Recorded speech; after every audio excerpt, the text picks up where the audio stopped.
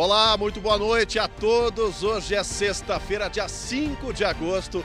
E o SBT Rio Grande, segunda edição, começa agora ao vivo aqui, direto da cidade mais cinematográfica do Brasil. Estou falando ao vivo de Gramado, ao vivo direto do nosso estúdio de inverno do SBT aqui nessa cidade belíssima. A noite está super agradável, 8 graus agora, uma temperatura bastante convidativa para dar aquela voltinha, para curtir as delícias de Gramado, a rede gastronômica farta que tem por aqui. E a gente faz esse convite para todo mundo que está em casa acompanhando o segunda edição agora ao vivo. Estamos aqui, ó, em frente à Igreja de Pedra, ao lado do Palácio dos Festivais, lá o Museu do Festival de Cinema, que esse ano completa 50 anos de edição, 50 edições ininterruptas. Já já a gente vai falar com um expert em cinema aqui no segunda edição. Hoje a crônica dele é ao vivo, mas antes deixa eu bater um papo com essa família do Rio de Janeiro. Alexandre, chega junto aqui, Alexandre. Vieram em oito pessoas, boa noite. Boa noite, nós viemos em oito pessoas e estamos aí curtindo o clima de gramado. Maravilhoso isso aqui, uma delícia, cara. Como é que tá sendo a experiência de, de quem está acostumado com aquele calor do Rio de Janeiro pegar uma temperatura amena? A neve não veio, mas tá um frio gostoso, né? Bastante. Assim, eu moro a 200 metros da praia lá no Rio, não tô acostumado com frio. Assim, tá muito bom, a gente tá achando maravilhoso aqui. Muito bom o clima, uma delícia, cara. Criançada curtindo junto aí. Todo mundo. Nós trouxemos a família inteira, tá vendo? Eu, meu sócio, meu filho, a esposa dele. Vamos voltar para o Rio de Janeiro com chocolates na bagagem. Muitos. Já compramos bastante chocolate, tomamos bastante choconhaque e estamos curtindo aí, tá uma delícia, cara. Maravilhoso. Obrigado pelo papo. Boa estadia em Gramado aí, que seja inesquecível. Um abraço. Boa estadia, é isso aí, é o clima de Gramado. Deixa eu chamar aqui pro meu lado um cara que realmente é o clássico da sexta-feira do segunda edição. Piero Machado, Antônio Piero Machado, nosso Anônimos Gourmet. Boa noite, Pierinho. Boa noite, boa noite. Aqui Anônimos Gourmet, é isso aí, né? Piero, beleza a crônica aqui. hoje é ao vivo e a gente vai falar sobre os 50 anos do Festival de Cinema de Gramado, que 50 edições que completa esse ano a partir da próxima sexta-feira, dia 12. O que, que se pode falar desse símbolo da cultura da sétima arte, Pinheiro? Eu acho que é uma é uma, um festival que percorreu grandes dificuldades, enfrentou no tempo da ditadura aquela dificuldade e, e, brigas e até prisões que houve naquela época e depois se manteve e está dando assim uma demonstração incrível, né? Quando a gente vê as, a riqueza, uh, essa família do Rio de Janeiro vem aqui é, todas as coisas Muito em, gente... em função da própria história que o festival construiu, né, Pinheiro? Exatamente. Quer dizer, o Festival de Gramado hoje é um acontecimento do Brasil inteiro, né? É daquelas coisas assim, é um ícone do Brasil. Né? E para nós isso é uma grande satisfação. Nós do SBT estamos aqui uh, prestigiando, tu aí naquele grande apresentador, nosso Agora, grande impressionante, o pessoal que está acompanhando, viu, Pinheiro? O carinho que a gente recebe por aqui. É né? impressionante. Né? Mais um ano que o SBT marca a presença em Gramado e dessa vez, deixa eu dar o destaque para os nossos patrocinadores aqui. O Estúdio de Inverno tem o patrocínio, o estúdio do SBT, patrocínio de Avan, tudo num só lugar, a loja mais completa do Brasil e o apoio fundamental da Gramado Tour. Abraço para Rosa Helena Volk, né, que está sempre envolvida é. com esses projetos, é. com toda a história de Gramado e a Gramado Tour, que realmente faz um trabalho magnífico quando o assunto é turismo, é, é. receptividade, é. acolhimento, né, Pinheiro? É, exatamente. E essa é uma realidade que a gente vê aqui. Nós tivemos hoje percorrendo aqui, tivemos um grande almoço maravilhoso. E deu água na tudo... boca aquele fundido oh, meio-dia com o André Harnett. Fala a verdade, deu água na boca. Aquilo, ah, né? aquilo foi, foi impressionante. muito saboroso, né, Pierre? É. Não, e tem coisas assim, essas atrações todas aqui.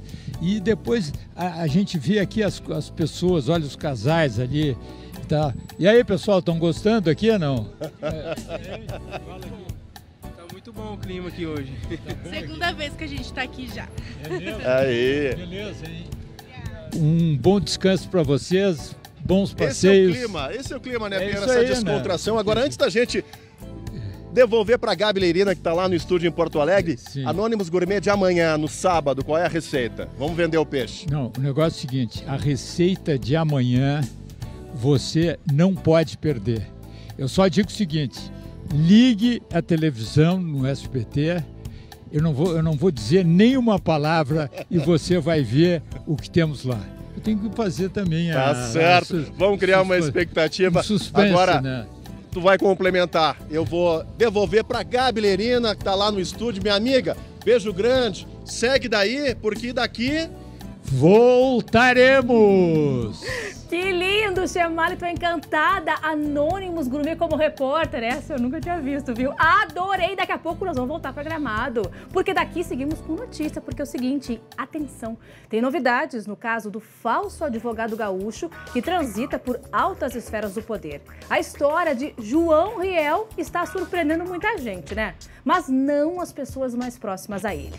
Nós conversamos com exclusividade com uma parente do rapaz. Veja agora na do Lucas Abate e do Cristiano Mazzoni. A história do gaúcho João Riel Manuel Ubner Nunes Vieira de Oliveira Brito, de 31 anos, surpreendeu pela facilidade em inventar histórias e criar falsos cargos, como o de desembargador do Tribunal de Justiça do Rio Grande do Sul, e enganar até autoridades. Mas para quem conviveu com ele, as mentiras não são novidades. A gente já esperava que isso algum dia iria acontecer, sabe? Posso te dizer que tão- não tão rápido assim como foi, mas a gente imaginava que isso não podia ficar todo o tempo é, escondido sem nunca ninguém fazer nada. O relato é de uma familiar de João que não quis se identificar. O motivo: vergonha. A gente ficou muito envergonhado porque repercutiu bem mal assim para nós. Mas por um lado, a gente ficou muito feliz porque teve ali uma esperança que as coisas viessem à tona. João Riel se diz autor de mais de 30 livros entre publicações acadêmicas e literárias. Também afirma ter mestrado, doutorado e pós-doutorado em universidades de Portugal e da Itália. No entanto, entrou na mira do Ministério Público e da Polícia Civil do Rio Grande do Sul por usar o número da OAB de uma outra pessoa para movimentar processos. A investigação trouxe outros casos à tona. João é alvo de três inquéritos. Segundo a polícia, há também indícios de que ele tenha falsificado documentos, como atestados médicos. dez processos que tramitavam e que tramitam na comarca de Arroio do Tigre, onde ele onde ele fazia uso dessa suposta carteira, né, essa suposto número de, de, de OAB, é, pleiteando benefícios, complementações de benefícios previdenciários a pessoas com ah, atestados médicos supostamente falsos. Ele também responde inquéritos por copiar obras de outros autores. Até o momento, João Riel só se manifestou por nota e reiterou a credibilidade dos títulos acadêmicos, obras jurídicas e literárias. Criatividade para o crime? Está preso um homem que assaltou uma farmácia aqui no centro de Porto Alegre. Ele disse que estava armado, só que a arma não era tão perigosa assim. É o destaque que abre o nosso giro de notícias de hoje. O suspeito usou um controle remoto de televisão para render a funcionária da farmácia e levar o dinheiro do caixa. Segundo a polícia, o criminoso roubou 780 reais, além de produtos de higiene. O homem foi capturado pela Guarda Municipal no final da tarde desta quinta-feira, depois de ter sido reconhecido pelas vítimas. O bandido tem oito passagens na polícia por assalto a comércios. Foi presa na manhã desta sexta-feira, em Alvorada, na região metropolitana, uma mulher de 29 anos, apontada por roubos e furtos a diversos estabelecimentos pelo estado. Segundo a polícia, a mulher agia sempre igual. Usava sacolas grandes para colocar os produtos que levava sem pagar. A investigação segue porque a quadrilha tem mais integrantes. Imagens de monitoramento mostram a ação de um ladrão em Canoas, na região metropolitana. Em 45 segundos, o bandido arromba a porta do motorista e depois abre a de trás. O suspeito levou uma sacola com roupas de dentro do automóvel. Um prejuízo de mais de 10 mil reais, segundo o proprietário do carro. O furto foi na sexta-feira passada. Grande movimentação policial em Gravataí na manhã desta sexta-feira, durante operação que cumpriu 15 ordens judiciais. A intenção era desarticular uma quadrilha de traficantes que atua no bairro Morada do Vale. Um homem de 22 anos foi preso e outro de 28 está foragido. Segundo as investigações, a quadrilha negociava pistolas e munição com outra facção criminosa da Grande Porto Alegre. Vamos amenizar um pouco agora. Agora é hora do esporte. Porque daqui a pouco tem Grêmio em campo pela Série B para se firmar no G4. Não há dúvidas sobre a escalação gremista para o jogo de logo mais. Quer ver? Eu aposto contigo no MrJack.bet que o time vai ser esse da tela. Se não for, me cobrem segunda-feira.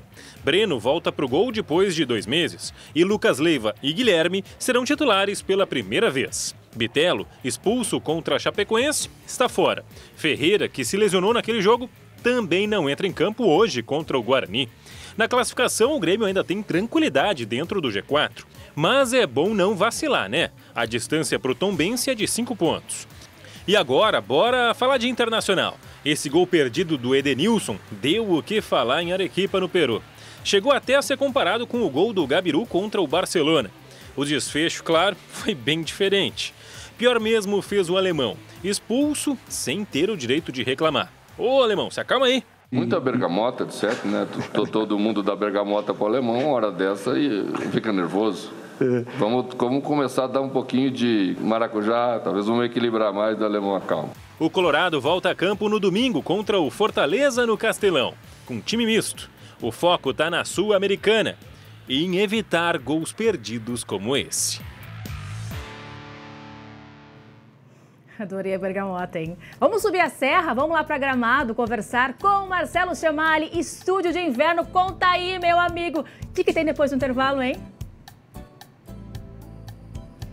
Olha, minha amiga Gabi Lerina, daqui a pouco, aqui ao vivo, direto do nosso estúdio de inverno, aqui em Gramado, eu vou contar um pouquinho da história desse objeto aqui. Um símbolo de desejo de quem faz cinema no Brasil. A história do Kikito imagens de um documentário exclusivo, primeira vez que vão ser passadas na TV aberta aqui no SBT. Depois do intervalo a gente conta todos os detalhes. Voltamos já já.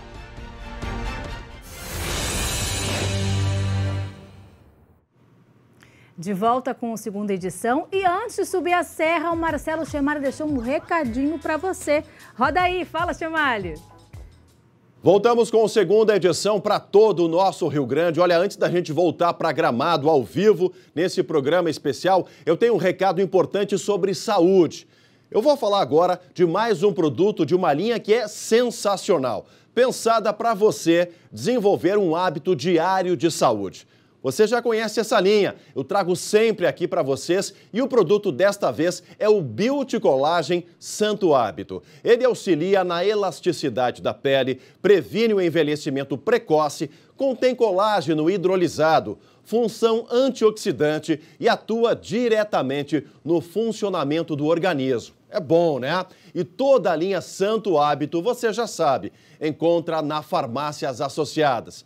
Para você que usa o cartão de vantagens, tem uma oferta super especial te esperando.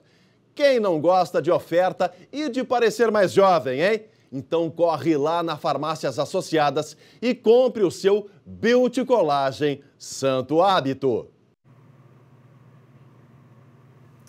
Já já a gente vai voltar para Gramado com Marcelo Chemali, mas agora eu vou chamar Lu Coleman, lá da redação, porque logo mais o SBT Brasil está preparando uma ampla cobertura em homenagem a Jô Soares. Lu Coleman, Jô nos deixou nessa madrugada aos 84 anos, né? Boa noite, Lu. Boa noite, Gabi. Boa noite a todos. Pois é, que triste notícia, né? O Brasil perdeu hoje, sem dúvida alguma, um dos maiores nomes do humor, da televisão, do teatro e da literatura. Jô estava internado desde 28 de julho no Hospital Sírio-Libanês, em São Paulo. A causa da morte não foi divulgada a pedido da família. Logo mais, como você disse, Gabi, no SBT Brasil, a cobertura completa com a história do Jô, entrevistas com amigos, fãs e admiradores. A passagem de muito sucesso do saudoso gordo aqui pelo SBT. Quem não lembra né, do programa Jô Soares 11 e meia, que foi pioneiro nesse formato de talk show aqui no Brasil, Enfim, serão mais de 60 anos de carreira passados a limpo. Ele que começou lá nos anos 50 no rádio, passou pelo teatro, cinema, televisão, escreveu tantos livros. Eu lembro que eu li aquele o do Baker Street, né? Que é Baker Xangô de Baker Street, Baker Street. Eu adorava aquele livro. E além dessa cobertura Gabi, no horário do programa de noite do Danilo Gentili, nós vamos poder rever o inesquecível último episódio do programa Jô Soares 11 e meia, que foi exibido em dezembro de 1999, quando Jô Soares entrevistou nada mais, nada menos que Hebe Camargo, Gugu Liberato e Carlos Alberto de Nóbrega e ainda encerra com uma homenagem, um agradecimento especial ao Silvio Santos. Olha, inesquecível e imperdível, Gabi. Ai, Lu, me arrepiei aqui, imperdível mesmo, viu? Muito. Quem é que não gostava do Jô, né? Vai fazer muita falta. E por falar, olha, em cultura, cinema, arte e alegria, que eram marcas do Jô Soares, nada melhor que voltar lá para Gramado com o Marcelo Chemali. E aí, Chemali, é tudo contigo, hein, meu amigo? Sextou! Valeu, Gabilerina, valeu, Lu Coleman. Sextou nesse clima, sim, de alegria, porque em minhas mãos aqui está o Deus do bom humor. Humor que era tão propagado pelo nosso Jô Soares. Hoje, programa imperdível, a partir da uma da manhã, a reprise do último Jô Soares 11 e meia, aqui no SBT, lá de 99, a justa homenagem a ele. Agora eu tô aqui com o Kikito, esse objeto de desejo, viu, Gabi? É que tem muita história para contar. Há 50 anos é o símbolo máximo da qualidade do cinema, da qualidade de quem trabalha com a sétima arte para falar sobre o documentário, sobre o significado desse troféu aqui. Aqui ao meu lado, o Fernando Guerra, que é gerente do Museu do Festival de Cinema de Gramado. Fernando, prazer te receber aqui ao vivo. Boa noite. Prazer é todo meu, Marcelo. Um prazer estar aqui contigo, podendo falar com toda Rio Grande, com todo o Rio Grande do Sul, principalmente aqui com Gramado, né? Fernando, 50 anos de um festival que pode-se falar que também é um patrimônio imaterial da cultura brasileira, né? E junto com esse festival, que teve tantas histórias marcantes, esse símbolo aqui, 33 centímetros, 3,5 quilos e meio, só que a história dele não cabe só nesse, nesse formato aqui, é muito maior, né? Com certeza não, assim, são 50 anos acompanhando o Festival de Cinema como prêmio máximo da cultura do audiovisual nacional. Então ele é muito representativo, não só para quem recebeu ele como prêmio, mas para todo cidadão gramadense, gaúcho e do Brasil inteiro, né? Então assim, a gente está muito envaidecido da gente poder estar contando a história do Kikito dentro do Museu do Festival de Cinema. Esse documentário que a gente vai estar reproduzindo uns trechos, imagens inéditas aí a primeira vez na TV aberta. É, conta um pouquinho dessa história, do projeto e quando que esse documentário vai ser exibido. Claro. Bom, esse documentário foi uma, uma proposta do Museu do Festival de Cinema para gente comemorar essa data tão emblemática que é a 50 edição do Festival de Cinema de Gramado, né? Então, de forma coletiva, a equipe do Museu do Festival de Cinema de Gramado propôs é, a criação, a filmagem desse documentário e da exposição é, sobre o Kikito. Então, o Kikito encena uma biografia do Deus do Bom Humor. Então ele vai contar toda a história do Kikito desde quando ele foi criado lá em 1967 pela artesã Elizabeth Rosenfeld, é, depois as histórias todas que aconteceram quando ele ainda era de madeira, depois do porquê que ele virou de bronze, como tem o formato hoje em dia, pesado desse jeito. Então a gente vai contar toda a história, quando ele foi contestado pela academia do Oscar. Então tem várias minúcias, várias curiosidades super interessantes que vão estar nesse, documentário que vai ser exibido durante o Festival de Cinema e vai estar sempre sendo exibido a partir do dia 12 de agosto, do final de semana que vem, até dezembro, no Museu do Festival de Cinema de Gramado. Agora, tu deu um- um- uma pitada de uma curiosidade. O, o Kikito foi contestado pela academia do Oscar. Os gringos queriam eh, dizer que isso aqui não tinha valor, que era plágio. Pois é, eles não sabiam da história e da representatividade dessa estatueta. Em 86, eles, eles requereram, disseram que essa, que essa estatueta era equivalente ao Oscar, sem saber que ela já tinha sido criada muito antes por uma artesã que veio da Alemanha, mas virou gramadense de coração. Então ela já tinha criado esse Deus do bom humor, esse solzinho sorrindo lindo, para presentear os amigos, para trazer essa alegria, essa felicidade, esse calor para Serra Gaúcha. extremamente curioso para saber disso. Agora, é, são 3,5 kg, né? Agora, pro artista, pro ator, pro diretor, que, né, diretor de fotografia, enfim, de trilha sonora, que tem uma estatueta dessa, é como para nós jornalistas ter um prêmio Ari em casa. É um, é um realmente um orgulho muito grande, né? Com certeza, é o prêmio máximo para a área do audiovisual. Então, assim, quem tem uma dessa em casa, os 33, os 3,5 kg pesam na mão, mas eu tenho certeza que o trabalho todo que está por trás, o glamour disso tudo, está nesse trabalho suado que todos os vencedores do Kikito fizeram para conseguir erguer essa estatueta no dia 20 de agosto no Palácio dos Festivais aqui em Gramado. É porque, né, Fernando, é, assim como no jornalismo de televisão, ninguém faz nada sozinho, tem toda uma equipe técnica, né, muita gente de produção envolvida, no cinema é a mesma coisa, né? Com certeza, toda uma equipe de bastidor. Nada seria possível acontecer sem quem está aqui por trás, por trás das câmeras, fazendo tudo acontecer. Essa galera da produção que faz isso acontecer. Perfeito. Fernando, obrigado pela gentileza de conversar com a gente. A todos uma baita sexta-feira, noite de sexta, baita fim de. Festival começa sexta que vem e a gente volta na segunda-feira. Tchau!